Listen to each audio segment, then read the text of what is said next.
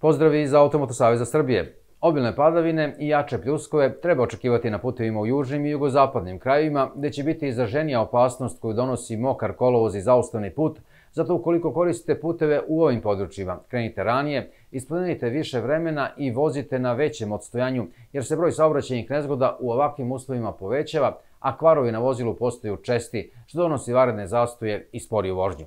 Van gradova saobraćaj je umerenog intenziteta i odvija se bez varednih prekida, sem na mestima gde se izvode radovi, a informacije o tim izmenama dobijamo od javnog preduzeća Putevi Srbije.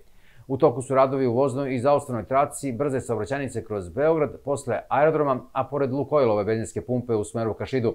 Ka centru Beograda saobraćaj se odvija voznom i zaostanom trakom, dok će se ka Šidu koristiti preticajna traka u oba smera.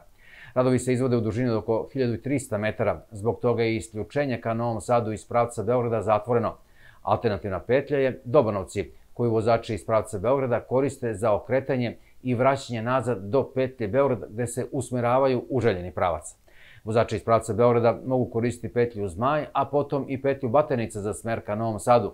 Danas će se do 16 časova vršiti obeležavanje saobraćenih oznaka na kolovozu autoputa i brze saobraćenice između Dobanovca i Bubanj potoka. Zbog toga će u zoni obeležavanja biti zatvorena vozna saobraćena traka.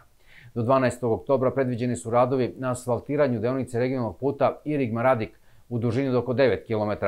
Asfaltiranje se vrši u dnevnim uslovima, ali se saobraćaj odvija usporeno svih 24 sata neizmeničnim propuštanjem.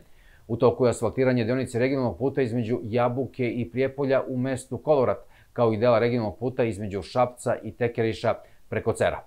Radovi se izvode i na nadvožnjaku na petlji Markovac, na autoputu Beograd-Niš, zbog kojih je zatvorena vozna i zaostana traka u smeru ka Nišu, a na nadvožnjaku sa, saobraćaj odvija usporeno na izmeničnim propuštanjem vozila.